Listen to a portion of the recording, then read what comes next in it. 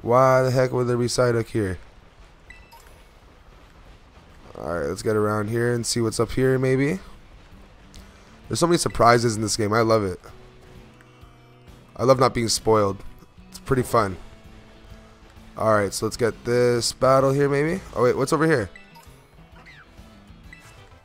Oh, Nightshade. What?